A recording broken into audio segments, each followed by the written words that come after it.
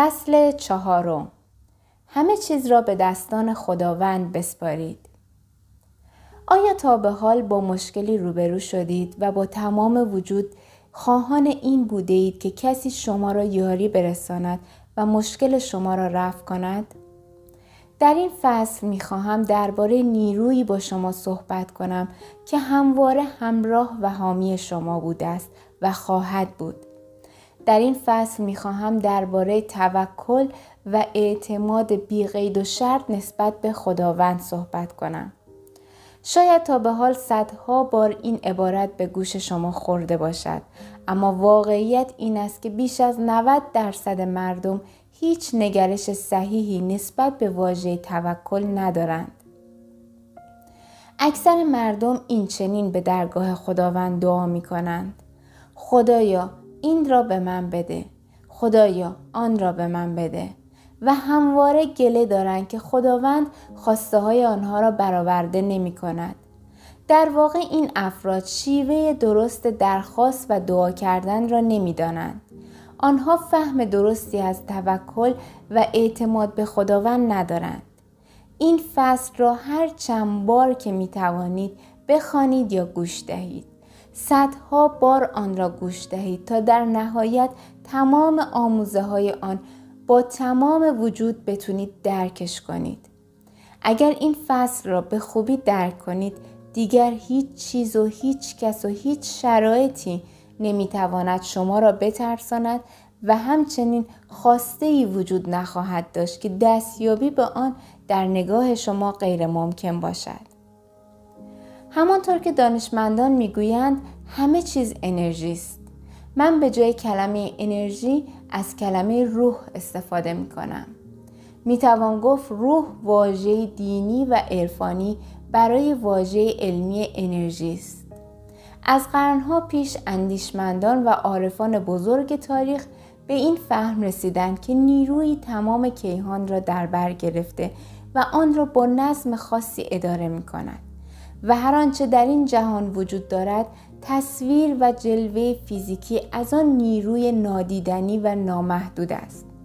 این نیروی نامحدود همان چیزی است که ما به آن خدا می‌گوییم. این نیرو همه چیز را در بر گرفته.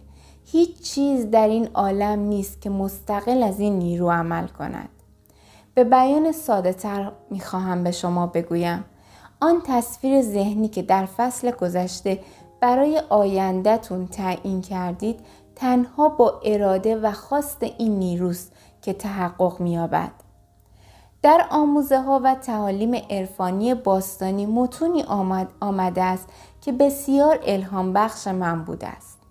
این آموزه ها می‌گویند این جهان بر اساس قانونی از پیش تعیین شده نوشته شده و بنا نهاده شده. اگر نعمتی از پروردگار به شما داده می شود به دلیل اجرای صحیح همین قوانین ثابت و از پیش تعیین شده است. این جمله را با دقت گوش دهید و به آن فکر کنید. سالها پیش دوستی داشتم به نام کلارنس. کلارنس در زندگیش به دستاوردهای زیادی دست پیدا کرده بود. اما از آنجایی که فردی متواضع بود تقریبا هیچ کس از موفقیت های چشمگیر او اطلاعی نداشت. به جز دوستان نزدیک و خانوادهش. او بسیار آرام بود با وجود اینکه اهداف بزرگی داشت اما هیچگاه استرا و نگرانی در چهره او دیده نمی‌شد. خلاصه اینکه دوست من نمونه بارزی از شخصی بود که با تمام وجود به خداوند توکل و اعتماد داشت. او در تمام کارهای بزرگی که به انجام رسانده بود به خداوند توکل کرده بود. به عقیده او با تکیه بر خداوند انجام هر کاری امکان پذیر است. او ایمان داشت که خداوند همواره حامی و پشتیبان او در تمام لحظات زندگیش است. روزی نزد کلارنس رفتم و از او خواستم رمز و راز این سطح از توکل و اعتماد بیقید و شرطش نسبت به خداوند را با من در میان بگذارد. واقعا می‌خواستم بدانم این سطح از آرامش او از کجا نشأت می‌گیرد. می‌خواستم بدانم چگونه او در سختی ها و چالش ها آنقدر خون سرد و دلاسوده است. او در جواب به من گفت ایمان واقعی یعنی باور نادیدنی ها و غیر ممکن ها. افراد متوکل به دلیل داشتن این سطح از ایمان به چنین نتایج چشمگیری دست میابند. این جمله بسیار برای من الهام بخش بود و در طی این سالها بارها آن را با دیگران به اشتراک گذاشتم. اگر بخواهم جمله دوستم را به زبانی راحتتر بگویم اینطور می شود. اگر شما فردی را به من نشان دهید که کارها و دستاوردهای بزرگی داشته است من به شما تضمین می دهم که او به توانایی های خود و خالقش ایمان و توکل راسخی داشته. هر آنچه که در طول تاریخ از آن به عنوان معجزه نام می‌برند حاصل ایمان و توکلی مستحکم بوده ایمان و توکل همان چیزی است که شما را همواره با خالقتون در ارتباط قرار می دهد. اگر تصویر ذهنی بسیار باشکوهی برای آینده خود در نظر گرفته اید در همین ابتدای مسیر بدانید که تنها با ایمان و توکل به خالقتون که می توانید آن تصویر ذهنی را در واقعیت فیزیکی خود متجلی کنید. داستان حضرت داوود و جالود یکی از الهام بخشترین داستانها در کتاب مقدس است. این داستان به خوبی اهمیت ایمان و توکل را به ما نشان می دهد. در جنگ سخت که میان گاتها و قوم بنی اسرائیل به وجود آمده بود، جالود که رزماوری بسیار تنومند بود تمام پهلوانان قوم بنی اسرائیل را به جنگ طلبید. اما هیچ کدام از مردان بنی اسرائیل جرأت روی روی با او نداشتند. در این بین جوانی به نام داوود با یک قلاب سنگ اعلام آمادگی برای روی با جالود کرد. جالود که سر تا پا مجهز به زره و سپر و شمشیر بود شروع به ترساندن و رجزخانی برای داوود کرد. حضرت داوود در جواب رجزخانی های جالود گفت تو که سر تا پا با شمشیر و سپر خود را مجهز کرده ای بدان که امروز مغلوب نیروی خداوند می شوی. ایمان جالود بر چیزهای مادی زره و شمشیرش بود. اما ایمان داوود به نیروی نادیدنی بود. ایمان و توکل داوود در نهایت باعث شد که تنها با یک قلاب سنگ آن رزماور تنومند را به خاک افکند. این داستان باید الهام بخش شما باشد. باید بدانید که اگر به خداوند توکل و اعتماد بی قید و شرطی داشته باشید در سختی ها و مشکلات او و مشکلات او شما را یاری می کند. اگر به خداوند توکل داشته باشید در شرایطی که تمام درها را بسته می بینید او دروازه ای را برای شما می گشاید. شکست و ناکامی اکثر مردم به دلیل عدم توانایی آنها نیست. در حقیقت نداشتن ایمان و توکل به خداوند بوده که آنها را شکننده کرده است. متاسفانه این باور محدود وجود دارد که تنها افراد خاصی می توانند با خداوند ارتباطی نزدیک داشته باشند و دیگران از این ارتباط محروم هستند. اما حقیقت این است که شما می توانید در ذهن و قلبتان حضور خداوند را احساس کنید تا زمانی که حضور خداوند را در تک تک لحظات زندگیتان احساس نکنید دعاها و تلاشهای شما حاصل آنچنانی نخواهد داشت. تا زمانی که ذهن خود را از منفی بافی ها و تصاویر شکست و ناکامی خالی نکنید هرگز نمی توانید به انرژی خلاق درونیتان دست یابید و کاری بزرگ را به ثمر رسانید. اگر بخواهم روند دستیابی به خواستتون رو بیان کنم می توانم آن را در دو مرحله خلاصه کنم. مرحله اول ساخت تصویر ذهنی از آنچه خواهان آن هستید. مرحله دوم توکل و اعتماد بی قید و شرط به خداوند. فهم این موضوع که خداوند همواره در همه جا حضور دارد اعتماد به نفس زیادی به شما می دهد. زیرا خیالتون راحت است که نیروی همواره حامی شماست. این باور مثبت نیرویی به شما می دهد که می توانید بر تمام سختی ها و مشکلات غلبه کنید. خودتان متوجه خواهید شد که تمام جهان و کائنات دست در دست هم خواهند داد تا خواسته شما به هر نحو که شده است محقق شود. باور مثبت دیگری که باید در خود ایجاد کنید این است که شما بخشی از همان انرژی و نیروی الهی هستید. در نتیجه شما هم همانند آن قدرت لایتناهی می توانید خلق کنید و زندگیتان را همانطور بیافرینید که خواهان آن هستید. این انرژی نامحدود و لایتناهی که من آن را روح می نامم همواره در دسترس شماست و در تمام وجود شما جاری است. اما این شما هستید که تصمیم می گیرید از قدرت این انرژی عظیم چگونه استفاده کنید. به بیان دیگر کسانی, کسانی که می‌خواهند بدون هیچ تلاش و تفکری خداوند همه چیز را برای آنها مهیا کند در واقع خودشان را فریب می دهند لطف و رحمت خداوند شامل حال کسانی می شود که به سهم خود تلاش و سختکوشی از خودشان نشان می دهند.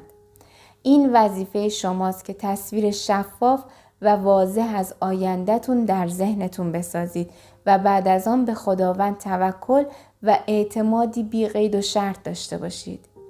باید یقین داشته باشید که دیر یا زود تصویر ذهنی شما محقق می شود. در واقع هنگام که تصویری واضح از آیندهتون در ذهنتون می سازید و آن تصویر را برای مدت زمان کافی در ذهنتون نگه می دارید این انرژی لایتناهی یا همان روح دست به کار می شود و شما را در سطح ارتعاشی جدیدی قرار می دهد.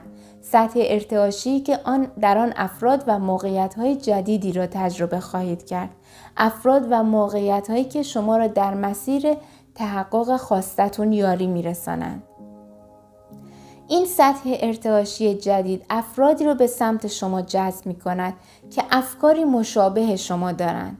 اتفاقاتی غیر منتظره برای شما به وجود می آید. اتفاقاتی که به هیچ وجه نمی توانید توضیعی قانع کننده برای آنها پیدا کنید و البته به شما پیشنهاد می کنم به دنبال دلیل و منطقی هم برای آن اتفاقات نباشید اما این نکته را به خود یادآوری کنید که آن اتفاق از جانب آن انرژی لایتناهی یا همان خدا برای شما رخ داده است. در این شرایط به خودتان یادآوری کنید که چقدر مورد لطف و رحمت خداوند قرار گرفته اید و البته این جریان رحمت همچنان در زندگی شما جاری خواهد بود. افرادی که منفی باف هستند و هیچ ایمان و توکلی ندارند بر شما برچسب خوششانس بودن می‌زنند. گفته های آنان را نشنیده بگیرید. لازم نیست برای آنها توضیح دهید که دقیقا چه اتفاقی در حال رخ دادن است.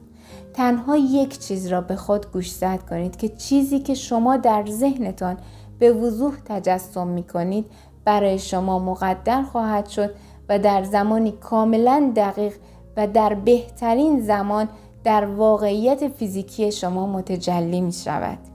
این را به یاد داشته باشید که خداوند در نهایت آنچه را در زمیر ناخداگاهتان حک کرده اید برایتان مهیا می کند. نکته بسیار مهمی را می خواهم به شما بگویم و آن این است که در مسیر تحقق خواستتون گاهی اوقات احساس می کنید ممکن است از مسیر خارج شده باشید یا اینکه از خواستتون دور شده اید و هرگز به آن نمی رسید.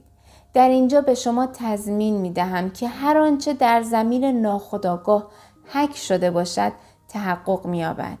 شاید به نظر برسد که از مسیر تحقق خواستتون خارج شده اید اما در حقیقت شما وارد مسیر میانبری شده اید تا هرچه زودتر به خواستتون دست یابید.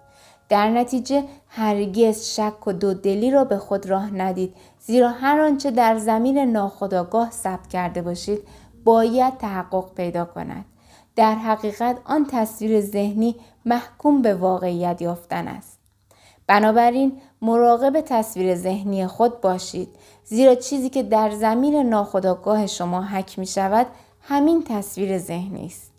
توکل و اعتماد بیقید و شرط نسبت به خالق باعث می شود ایمانی راسخ به تصویر ذهنی خود داشته باشید.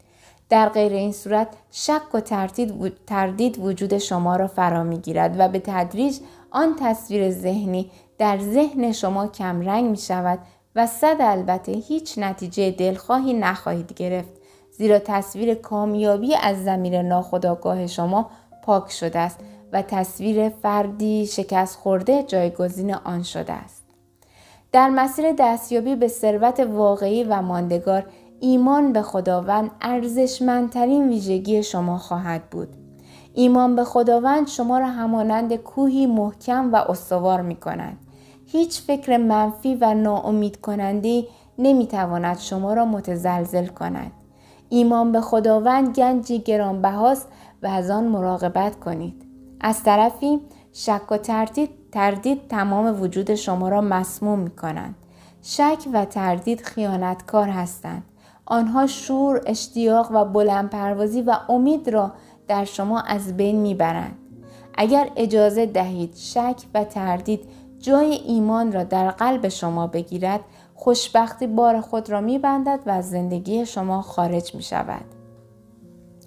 هنگام که ایمانی راسخ به خداوند دارید و مطمئن هستید که خداوند خیر و صلاح شما را می‌خواهد هیچ عامل منفی نمی‌تواند در وجود شما رخنه کند شما در سطح ارتعاشی بسیار بالایی قرار می گیرید.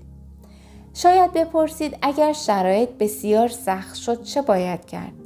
در جواب به شما باید بگویم در این مواقع شما سرسختتر خواهید شد. همانطور که رابر شولر می‌گوید سختی روزگار ناپایدار است اما انسانهای سرسخت پایدار هستند. در مواقع سختی باید ایمان و توکلتون نسبت به خداوند را به خودتون ثابت کنید. من در مواقع سخت تمرینی را انجام می دهم و به شما هم پیشنهاد می کنم همین کار را انجام دهید. در آغاز این تمرین نام خود را بر زبان بیاورید و جملات این متن را با لحنی قاطع بخوانید.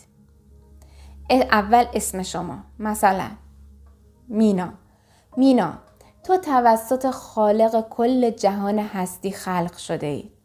ضعف و ناتوانی برای تو معنایی ندارد. خداوند همه را برنده آفریده است. اگر اجازه دهی شک و تردید در دلت راه پیدا کند مانع کامیابی و موفقیتت می شوی. هرگز با چهره غمگین و افسرده در میان دیگران حاضر نشو. هرگز توانایی ها و استعدادهای خدادادی خود را دست کم نگیر. آفرینش تو هدفمند بوده است. رسالت خاصی به تو عطا شده است. آن را به انجام برسان. تو تصویر کاملی از پروردگارت هستی. هرگز خود را پایین نیاور. این جملات را بخوانید و باور داشته باشید که دلیلی برای آفرینش شما وجود داشته است. این جملات به معنای خودپسندی و خودبینی نیستند. این جملات تنها بر این واقعیت تاکید می کنند که شما بخشی از آن انرژی لایتناهی هستید. در آخر این نکته را به یاد داشته باشید که در مسیر تحقق اهدافتون به ندای قلب خودتون گوش فرا دهید نه به حرفها و توصیه های به اصطلاح خیرخواهانه دیگران. ندای درون شما معمولا شما را به مسیری دعوت می کند که از مسیر دیگران جداست. شما را به مسیر یکتا و منحصر به فرد دعوت می کند. مسیری که, مسیری که کمتر کسی از آن گذشته است. نگران این موضوع نباشید که توسط دیگران ترد شوید زیرا تمام افراد بزرگ تاریخ و تمام کسانی که تاریخ ساز شدند همان کسانی بودند که هم رنگ جامعه نشدند. این افراد تنها به ندای درونیشان گوش فرا دادند. اجازه دهید تصویر ذهنی که در فصل گذشته آن را با جزئیات برای خود مشخص کرده اید در زمیر ناخداگاه شما حک شود. به این منظور باید توکل و اعتمادی بی قید و شرط نسبت به خداوند داشته باشید. اگر ناخواسته دچار شک و تردید شدید و تصویر ذهنی شما در ذهنتون رنگ باخت ناامید نشید.